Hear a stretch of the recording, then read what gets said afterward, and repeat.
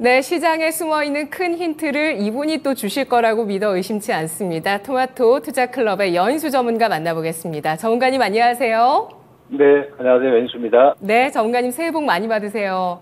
네, 새해 복 많이 받으십시오. 예, 오늘 첫날 어떻게 보셨는지 시장의 집중 포인트 좀 살펴볼까요?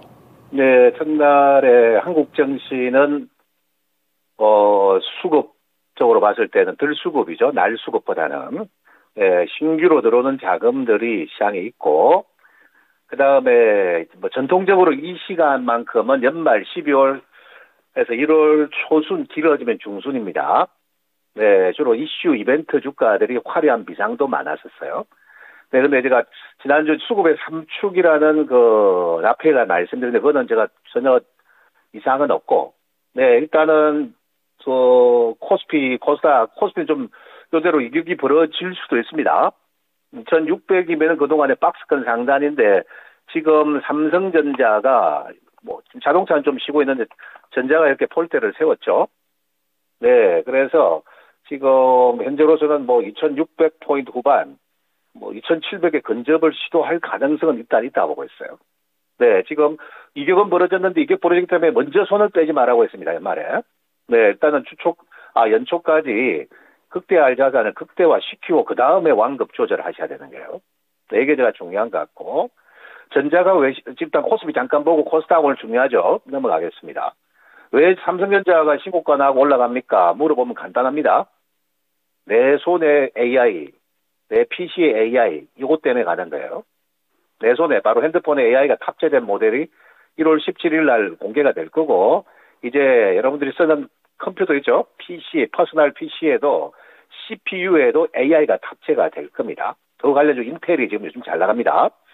네, 그래서 지금 그러면은 교체 시기가 교체가 많을 거 아니에요. 그죠? 핸드폰이고 PC고 AI 달린 거를 사고 싶어 하겠죠, 사람들은. 그것 때문에 삼성전자가 먼저 선제 반영을 연말 연초에 하는데 화려하면 이번 주에 한마디 제가 고점 정도는 단기 고점은 나올 수는 있겠구나 생각은 합니다. 네, 생각은 하는데 아직은 조금 뭐 여러 개 더 남아 있고 삼성전자 가니까 바로 밑에 단에 AI와 관련된 대형주는 요거거든요. 삼성전기예요. 야자 대형주 최근에 인기가 없었으나 그래도 소수 간택되어 가지고 이렇게 가는 게 있고 자동차는 좀 이격은 좁힐 것 같아요. 연말에 너무 셌죠. 네, 셌는데 저는 이격을 좁힐 때 뭐 비싸서 안 산 사람들은 잘 봐야 됩니다. 네, 특히 제가 기아차는 나중에 기회가 되면은 여러분들이 잘 봐야 될 이유가 있는데 그건 다음번에 시간 안내드리도록 하겠습니다. 조금 이격 조정을 줄 것 같고요. 어, 지금 뭐 연말에 AI 플랫폼 관련해가지고 잘 아시는, 예, 지금 보시면은 뭐 급등주는 아니라 네이버라든지, 예, 카카오라든지, 이런 쪽도 오늘 양호했던 것 같아요. 근데 그 다음 축, 이거는 전차 군단의 대표주들이고, 그 다음이 제가 바이오하고 반도체, 이, 저, 세스 2024, 이거는 뭐 계속 이야기 드렸는데, 바이오는 오늘 보니까 선제 급등형은 조금 쉬어갑니다. 오늘은 뭐 반도체로 확 몰려버렸죠?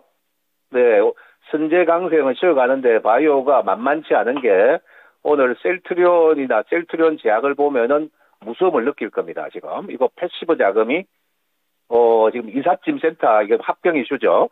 네, 이사 가는 주들 급, 급등하는 거 보셨을 건데, 이쪽으로 오늘 passive가 세게 들어왔어요. 네, 여기 세게 들어오다 보니까 먼저 급등했던 알테오젠도 오늘 약간 변동성 조정도 있었고요. 일단 바이오부터 먼저 보겠습니다. 바이오도 매우 중요한 한 축으로 내 다루고 있습니다.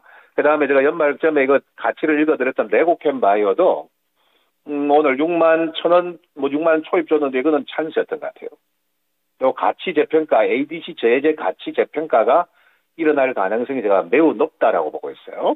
요거 참, 저, 그래서 바이오는 지금 조정 줄 때 학회 관련주도 내적당하게 하고 나오라 했죠. 급등하면 파셔야 돼요. 네, 조정 줄 때는 팔지 말고 급등하면은 파는 데 부터 제약바이오도 이슈들이 또 등장할 겁니다. ADC 저해제, CAR-T 치료제 두 개, 세포 치료제입니다. 그 두 개는 계속 관심 있게 보고 공부를 많이 하셔야 먹거리가 생길 것 같습니다. 여기까지 말씀드리고 IT로 넘어갈게요. IT는 지금 제가 크게 봤을 때는 네 가지 축인데 좀 좁혀드리면은 일단은 CES 2024 관련주가 on-device AI 축이고 그것은 지난해 여름에 어, 말씀드렸는데 휴식을 취했던 퀄리파스 네, 또 급등하죠. 뭐 다시 챙기고 다시 잡아들 4만 원 후반부 잘 챙기고 그 다음에 제주 반도체도 휴식을 취했다 가는데 이 축이 이번 주 주중에 잘 파셔야 돼요.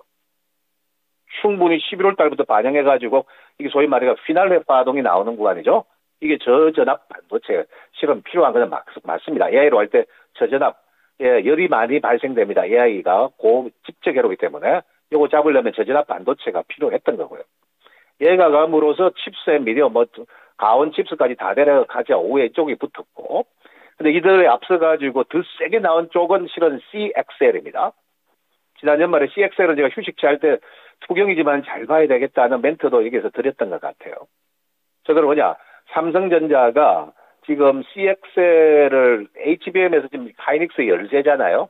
요 열세를 많이 하기 위해서 CXL에 지금 투자도 많고 출하의 시기도 가까워지니까 그냥 뭐 경고 달고 네오셈, 옥킨스 전자, 네 초급등한 상태고 그다음에 엑시콘이 갔어요. 이게 지금 사실 좀 중요한 축처럼 제가 느껴지고 있고 어, 오늘 반도체는 두루두루 지금 갑니다. 이거 외에도 반도체는 부품단, 소재단을 잘 봐야 돼. 부품은 뭐냐 하면은 일단은 우리가 테스트 소켓이 부품이 제일 중요합니다. 그 다음이 PCB예요. 테스트 소켓을 대표하는 시는 리노 공업이에요. 결국 휴식을 한 3주 쉬다가 오늘 장대 양봉으로 전고점이 넘어왔죠. 좀 얘기했던 네오셈 이런 주식들은 전부 다 부품단에 3D 아, 테스트 장비 소켓이고 소재 쪽도 오늘 오늘은 뭐 반도체 단 다 움직인다 봐야 되죠. 네, 대표적인 게 하나 마이크로는 잘 아는데 하나 머터리얼에서는 잘 모르시죠. 네, 오늘 이렇게 갑니다. 이제 뭐 급등하고 또 소화는 제가 IT는 하는데 하여튼 올해는 제가 부품 소재 단도 어, 가능성이 있습니다. 왜냐하면 삼성전자 전방 산업이 세다는 거죠. 세기 때문에 한번 제대로 연초에 붙은 것 같습니다. 네, 이런 것들이 오늘 주요한 특징이라고 볼 수 있겠고 자동차도 그렇고 오늘 조금 휴식을 취하는 게 뭐죠? 일단 급등했던 바이오 좀 쉬는 주가들이 많아졌고 그 다음에 오늘은 뭐 로봇 주자들은 오늘 휴식을 취하고 있어요. 단 세스에도 로봇과 자율주행이기 때문에 저들도 순환의 대상이 될 가능성은 좀 있지 않을까. 네, 이게 오늘 뭐 주시장의 특징이다 말씀을 드려야 될 것 같습니다. 네, 아, 정말 화려한 시세를 주는 그 배경들 쭉 짚어주셨고요. 또 그 흐름에서 놓치지 말아야 될 부분들까지 전차 군단 그리고 제약 바이오 코스닥 쪽으로 옮겨와서까지 쭉 설명을 들었습니다. CS 2024가 9일부터 열리게 되고요. 다음 주 초반에 또 삼성전자의 잠정 실적 발표 열리게 어, 발표가 나오게 되는데요. 어, 자 그렇다면 오늘장의 예, 선택 들어보겠습니다. 어떻게 전략을 세우는 게 좋을까요?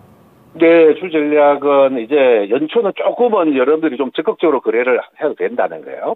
근데 이제 이번 주 오늘 화요일 이제 출발하는데 주 중반 후반에서 다음 주 초 월요일까지 어, 어쨌든 연, 지난 12월에 먼저 반영이 됐는데 연초에 이벤트 효과로 확장 파동으로 가는 주가들은 네, 챙겨야 되죠. 그거는 저, 저 이벤트가 있는 세스 2024 관련주.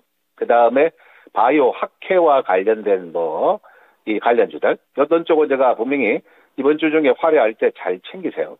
다만 오늘은 바이오가 빠지는 거는 제가 좀 에이스들은 좋아 보인다고 이야기 들었죠. 조금 전에 뭐 레고캠도 언급 드렸고요. 네, 뭐 지금 세포 치료 치료제는 또 큐로셀 같은 주식이 좀 있고 이런 거는 여러분들이 잘 보셔야 될 부분이고, 예, 그다음에 일단 움직임부터 보고 제가 아까 설명이 좀 부족한 부분까지 말씀드리겠습니다. 근데 이제 펀드멘탈형으로 봤을 때는 반도체 부품 소재단 그리고 CXL 이쪽은 조금 trendy화 되지 않을까. 단 급등하는 것은 보유자들은 가져가는데 신규 진입은 조금은 네, 덤비는 건 좀 아닌 것 같아요. 예, 연초에 잘 달리다가 또 연초에 고점이 잘 나옵니다. 그렇기 때문에 지금 막 대들고 이렇게 할 수는 없다는 거예요. 어쨌든 뭐 on-device, CXL, 반도체가 오늘 뭐 주도권을 잡아왔다는 것은 분명한 사실이에요. 네, 이 점 참고하시고. 그 다음에 제가, 음, 지금 뭐, 오늘은 코스닥에 빛이 가려가지고, 뭐, 실적 기반형 주가들이나 turnaround 주식은 실은 못 가는데, 뭐, 지난 연말에 몇몇 주가 소수 언급드린 주가들 있죠? 오늘 쉬네요. 요들을 버리면은 나중에 아이고 아쉬워라 소리가 나올 거예요. 네, 지금 turnaround 주식도 있고 실적 기반이 언제든지 갈 거고 자율주행과 로봇까지 한 바퀴 돌아가면은 어, 요 1월 이벤트는 좀 final이 되지 않을까 싶습니다. 그리고 2차 전지는 지금 수급적 효과 때문에 실전에서도 지금 딱 여기만 집중되어 있습니다. 에코프로 머티리얼스 16만 원 초에 제가 뭐 지난주 실전 편입했다고 그 이후로 뭐 바로 가버리는데 오늘 뭐 20만 원까지 갔죠. 근데 이제 passive 자금 들어오는 요 효과 이사는 저 L&F, L&F도 지금 여기서는 덤비는지도 않는데 또 조정 주면 추우든 관심 있게 봐야 돼요. 근데 2차 전지가 왜 이렇게 세게 못 가고 헤매버리느냐. 만인 2차 전지를 지금 사랑하시는 분들에게는 매우 지금 불만이 크실 건데 4분기에 나올 실적이 제가 연휴 기간에 조금 제가 어, 안테나를 높여가 들어보니까 일단은 4분기 실적이 조금 낮게 미진하게 나올 것 같습니다.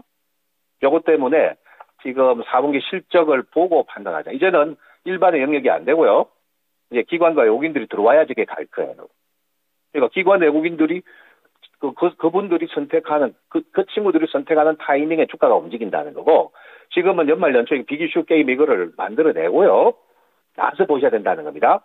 그거 말씀드릴 테니까 잘 참고하시고, 어쨌든 제가 연말에 강조했던 3축, 그대로 모시고 가서 가지고, 1월 초순, 네, 시세 극대화시키는 전략을 그대로 고수하자. 대신에 연말 연초 무리하지 않고 차분히 매물 소화된 실적 오전 기반이 있는 핵심들은 예, 잘 보유하고 조정시 관심을 가지자. 이렇게 3분류로 좀 해서 나가서 대응을 하셨으면 좋겠다. 이 말씀 을 드리겠습니다 네. 3대 축 다시 한번 요약을 해 주신다면 네, 3, 네. 지금 일단 대표주는 삼성전자하고 자동차 축입니다.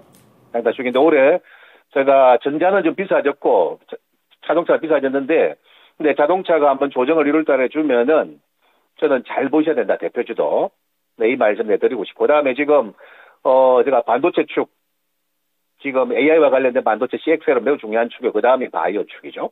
요게 3대 축이고 나머지 부수적인 게 로봇과 자율주행이고 그 다음에 실적 오전 기반 턴어라운드다 이렇게 제가 구분하시면 될 것 같습니다. 이다 분석 고맙습니다.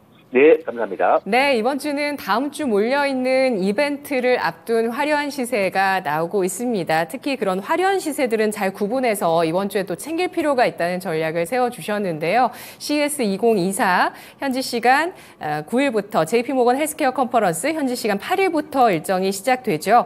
어, 그리고 3대 축으로 자동차, 반도체 가운데서도 특히 CXL, 제약바이오 이 세 가지 업종에 대한 지속적인 관심을 또 오늘 선택해 주셨습니다. 선택과 집중 여인수 전문가였습니다.